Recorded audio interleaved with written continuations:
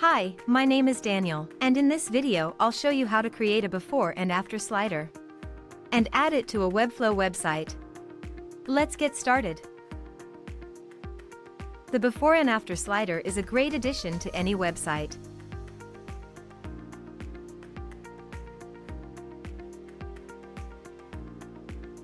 To start, enter Common Ninja website. Choose your widget from our large collection of widgets. And once you've entered the widget page, click on the Create button to enter the editor. Here, in the editor, you can edit the content, customize the look and feel, and change the settings. When you're done, click the Save Changes button to save your work. If you don't have an account on Common Ninja yet, you'll have to register first. When you're ready to add the widget to your website, go back to the dashboard. Now, on the dashboard, you'll see the widget you've created. Click on the Add to Website button.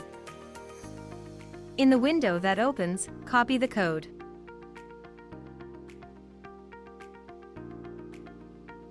And close the window. Remember, you can always return to the widget and keep on editing it. Now, let's head to the Webflow editor.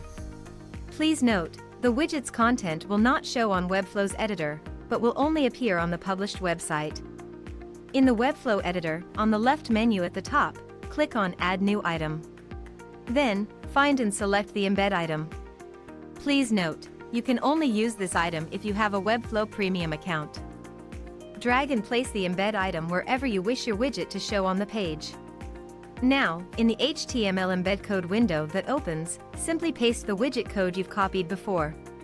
Click the Save and Close button. And that's it. Now, the before and after slider will show on your website.